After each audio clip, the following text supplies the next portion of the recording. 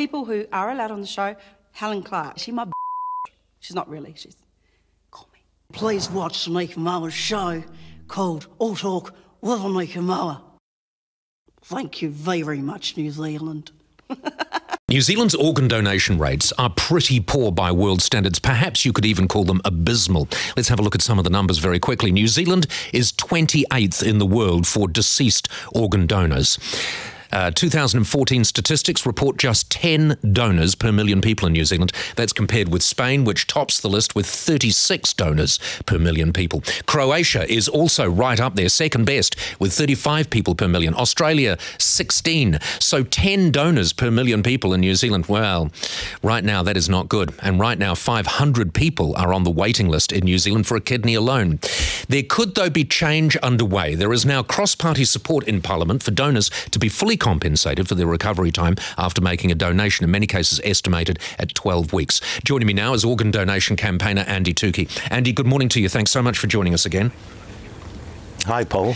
Um, since we last spoke, there has been a change. This announcement yesterday that there was unanimous support for 100% compensation for those 12 weeks for live organ donors. Do we know how big a difference that might possibly make to donor rates? Um, well, first, firstly, I think we need to uh, make clear that this is just for live donors. Yes. Um, the deceased organ donor rate, of course, is, as you pointed out, is probably one of the worst in the world. So this will only address those who, people who want to be live donors. But now, our, our, our live donor rate, though, Andy, is also is is is also woeful, isn't it?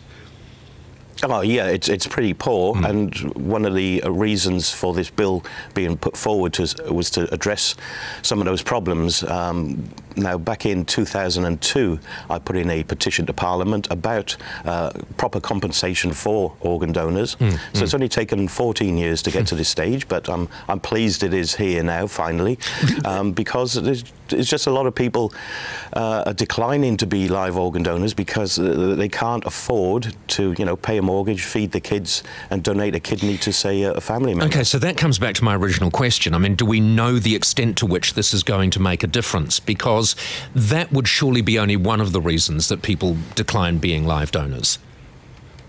That's right. Uh, we don't have, uh, unlike the deceased organ donor rate, we have no real idea of uh, how much it will improve uh, people's willingness to be live donors. Um, most of it is uh, anecdotal, uh, and mm, when mm. I was at Parliament, there was a lot of people who fronted up to Select Committee and said that the financial barriers, you know, were the main reason. So I would um, hope for a significant increase in live donors on the back of this bill.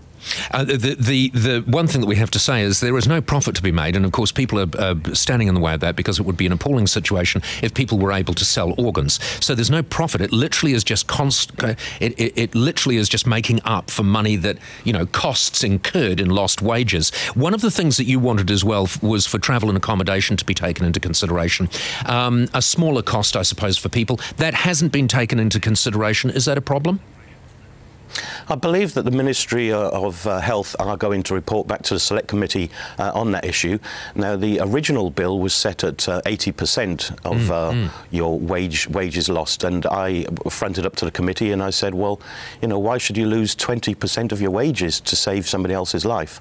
And of course, each person you take off the uh, dialysis machines is saving the health system $120,000 per person as well. So it's not only saving lives, but uh, savings in the financial financial side to the uh, Ministry of yeah, Health. This is not a cost. This is so not a cost to the taxpayer. This is an investment. That's right, and uh, I, so I argued for 100%.